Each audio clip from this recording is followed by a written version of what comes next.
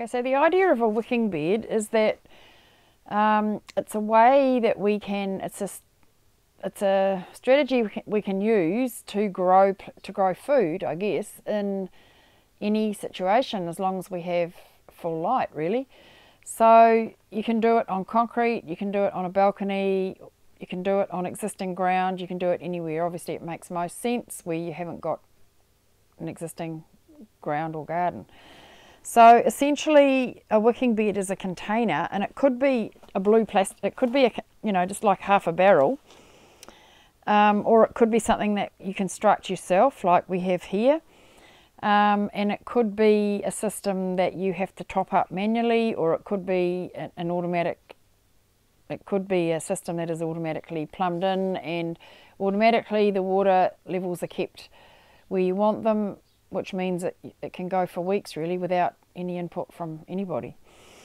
So uh, this is the Urban Garden greenhouse and what we are trying to do in here is find out how much um, nutrient dense food we can produce and so we're only just starting to get the greenhouse up and running but it's very obvious right from the beginning that some plants like growing in this still and um, humid environment better than others. The celery has just totally gone off in here. It's the best celery I've seen for a long time. Um, and it's got it's really high Brix as well. It's Brix of 15, which is good quality food.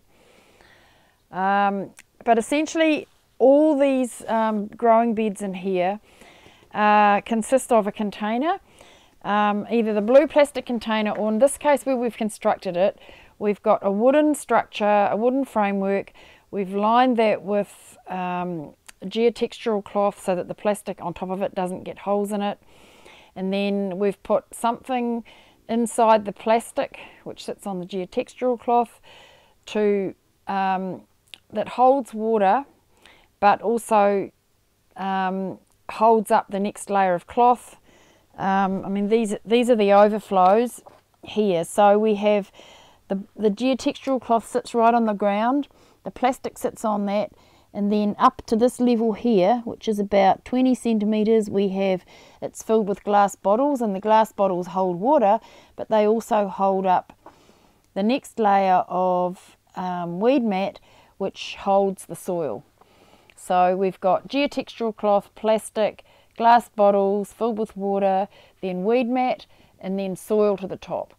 And then into the soil we're planting and the idea is it's called a wicking bed because the plants of the roots are able to wick up from the water below how much water they need. So the big surprise for us is that really um, it feels like water is the limiting factor in um, growth a lot of the time. Even though we're watering our outside gardens every day, um, the plants in here are growing far, far faster.